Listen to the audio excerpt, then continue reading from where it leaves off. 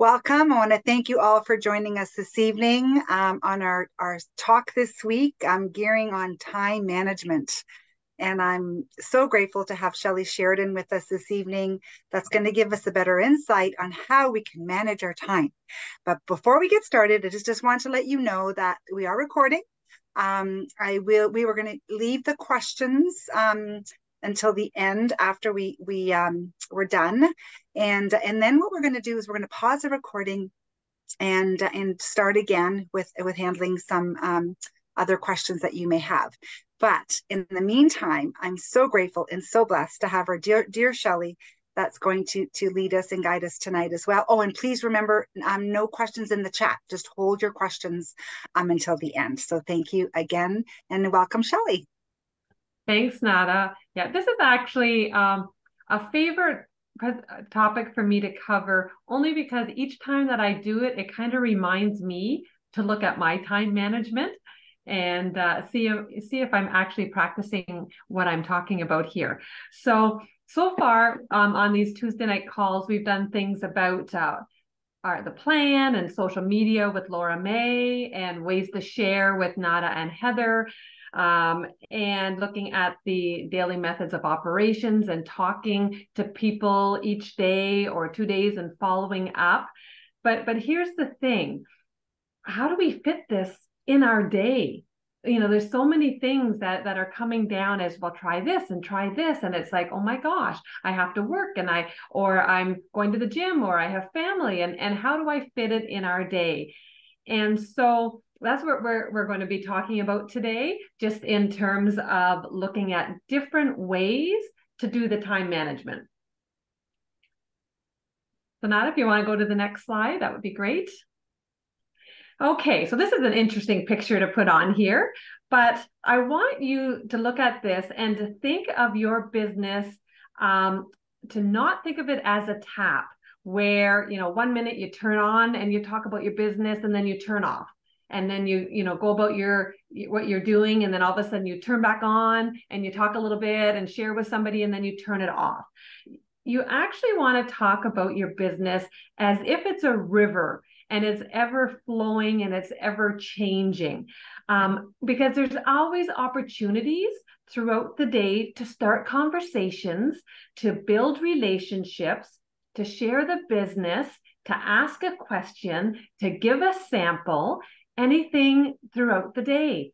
And sometimes when you're doing that, and we've talked about connecting with people and having different cotton balls going into the funnel, sometimes you're going to talk to a lot of people and build, and you're going to be kind of like that speedboat going down. And sometimes, you know, you're you're talking a little more to less people and things are going a little slowly and you're more like a kayak maybe going down this river and then sometimes, you know, you, have started a member or a promoter, and then, you know, all of a sudden they've decided they've changed their mind and they've stopped using the product. And I kind of talk about uh, being a rowboat going along and you have a hole in it because each time that somebody maybe changes their mind uh, and stops using the product, th- then you need to find more people, right? You have to fill that hole uh, in your business uh, each month as well.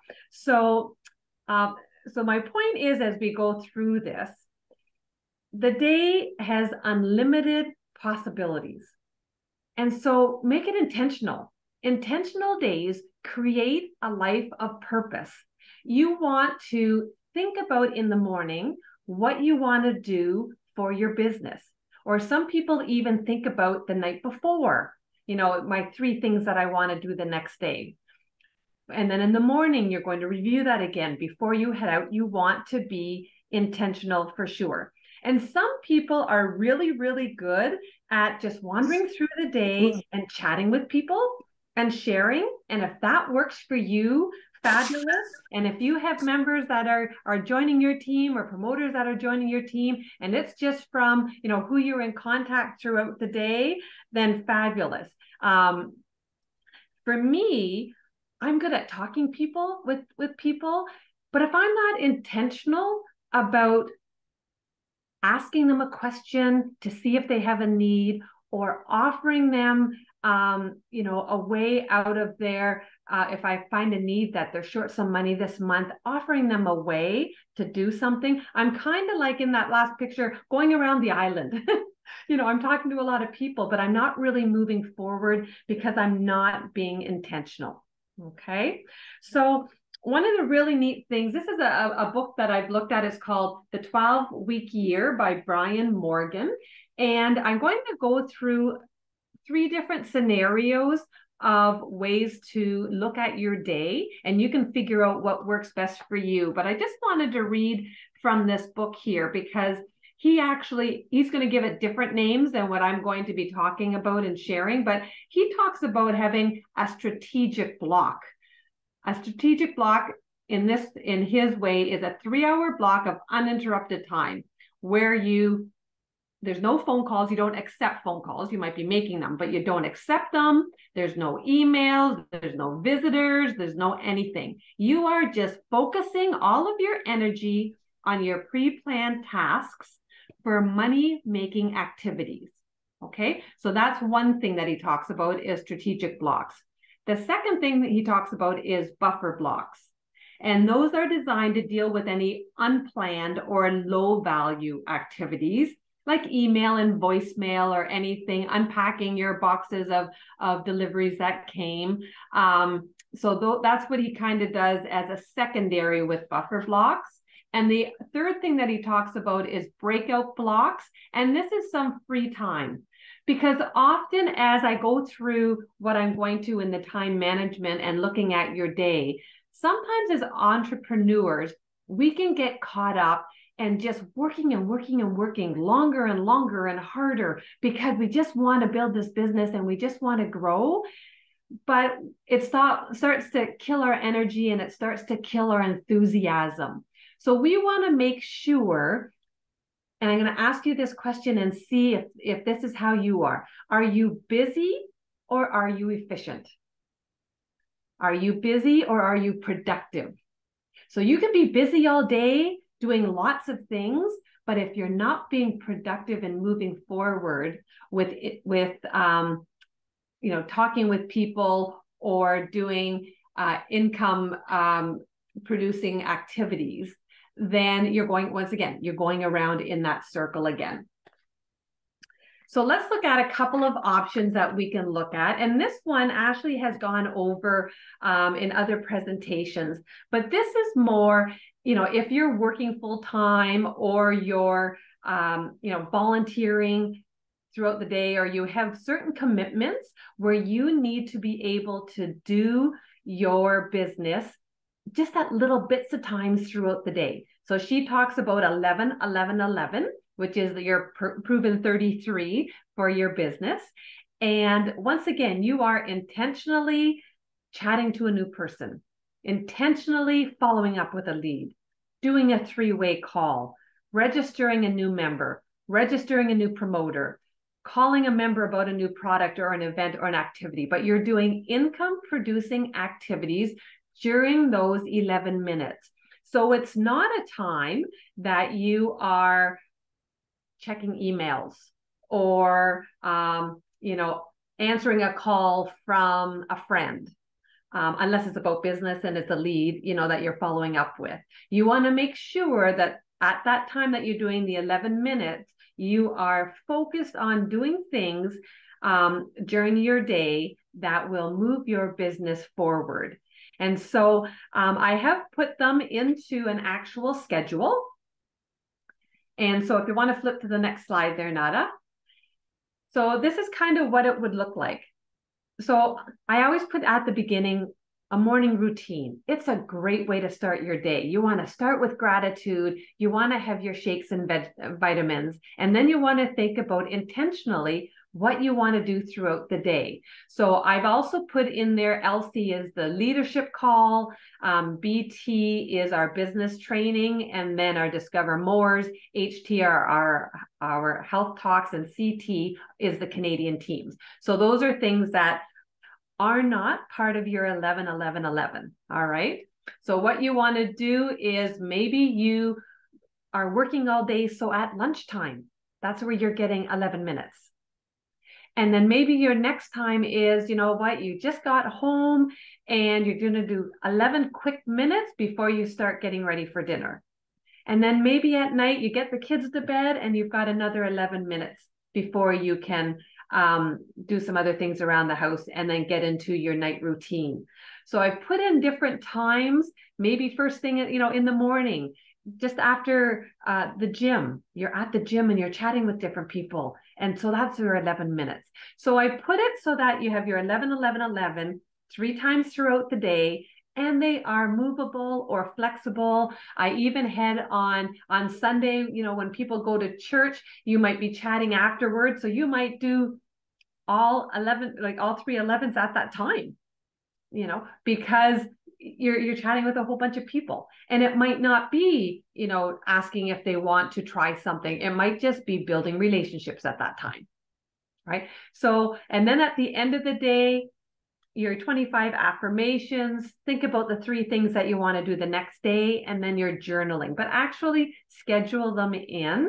And hopefully by doing that 11 11 11 it gives you flexibility and it gives you time to fit them in around your busy schedule okay?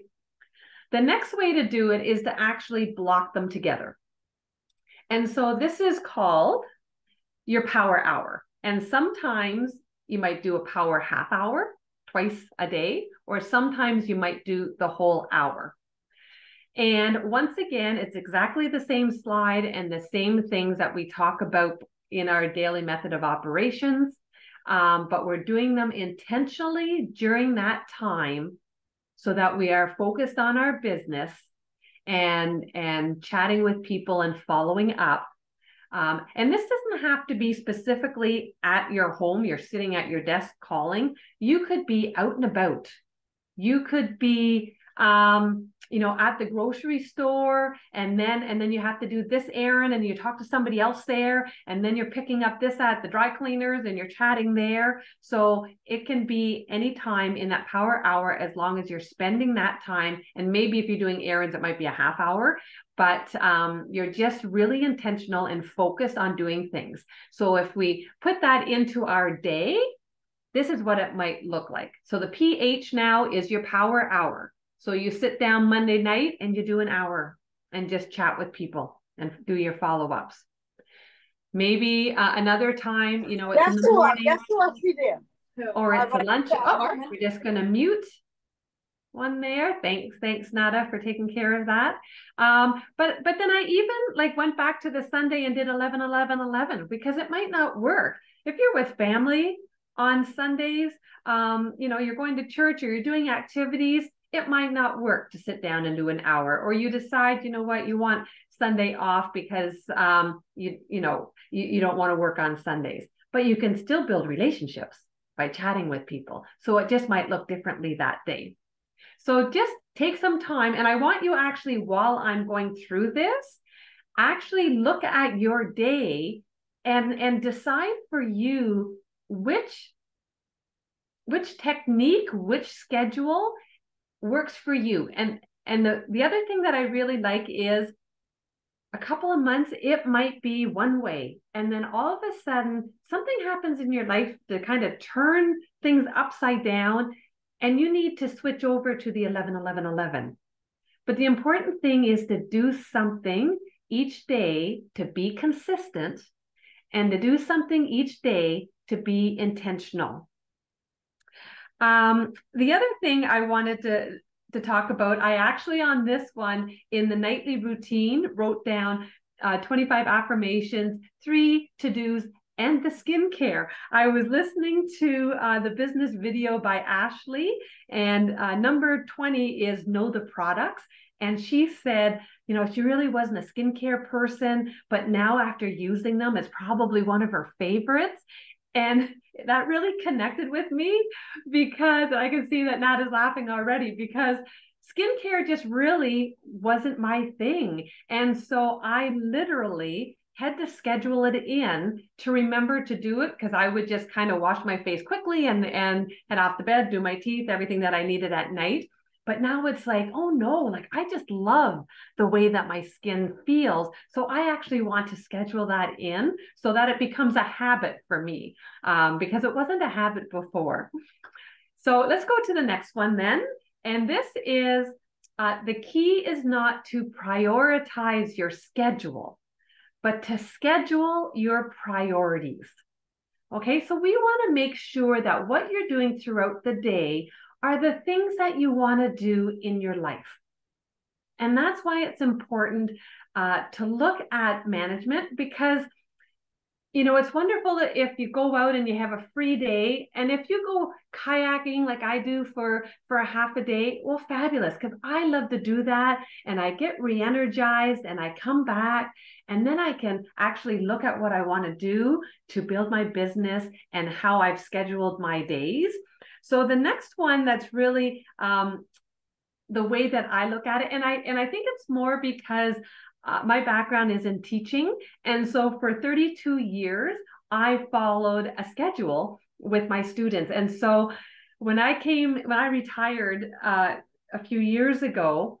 I kind of got a little lost because I was so used to following that structure. And so I decided to actually go back and look at more of a structure and time management. So I don't want you to get overwhelmed by the next slide, but if we look at it, this is putting in what you might need now and look at the white spaces because that's flex time.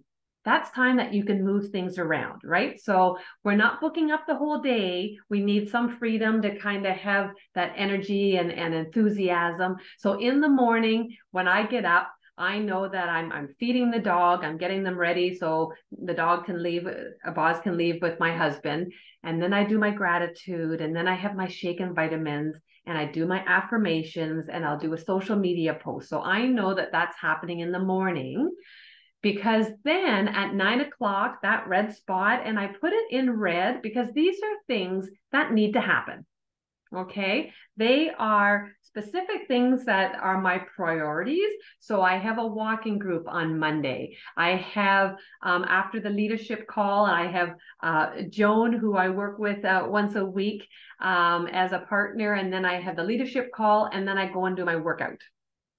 Okay. And then I have my power hours two, and then I'll do my email um, later on at night. So those two red ones are my workouts on Tuesday. It's my yoga on Wednesday. It's my my choir, and then I go and spend time with my mom. So that's why I have those red ones in because they are things that are not changeable. So if you are working you're going to have a lot of red because you're working in the morning and the afternoon. So you'll have to then move around, or if you're part time. So schedule that in first. And then you're going to schedule in things like um, all of the green there that has to do with your business.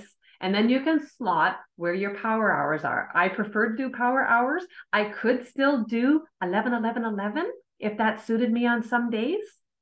Um, and then um, the light green ones are that's actually um, uh, a show that that a booth at a show, a vendor show. And I have that a light color because sometimes I have it on a Sunday and sometimes I don't. So that's kind of movable, right? And I had to discover more because sometimes I'll jump on the eight o'clock one, or sometimes I'm jumping on the nine o'clock. Sometimes I'm jumping on both, you know, depending on how my week went. And the yellow ones with which is my social media planning and answering emails or texts, those are movable because I want flexibility in my day. There's enough things there that are kind of uh, priorities and time sensitive. So I want some things that I can move around because that's the wonderful thing about this business and being able to do it from home and being able to do it from your phone is you want to be able to put in, oh, my son has a, a soccer game this afternoon. I want to go watch it. So therefore I can shift a few things and have my my power hours or my half hour or my 11 11 11 at different times. So um, that's kind of how i set mine up and and it allows me to really stay intentional and stay focused on on what i'd like to do. So then moving forward we're just going to show a video because those those schedules and what you do are absolutely amazing for organizing your time and helping you be intentional. But if you don't show action with it, then you've just organized yourself. And sometimes, you know, it might be if you're working part time, it might be a little bit of action. But sometimes, if you really say, hey, do you know what? I want to see what this business can do for me. And I really want to impact a lot of lives and go out and make a difference in the world. And I want massive action. Then those those schedules it will only help you that with your time management. So we're just going to listen to Stephen because I listened to this one as one of the uh, the business videos as well, and I just thought it was so perfect for here. Let's talk about one of the single most important traits or factors of success in your Neolife business. Whether you're launching your business or maybe even if you've been in business for years. And that trait, that quality is massive action. You see, I heard it said early on in my journey in this industry that massive action solves all problems when you're building and growing and scaling a Neolife business. And that knowledge without action is powerless, but knowledge with action is powerful.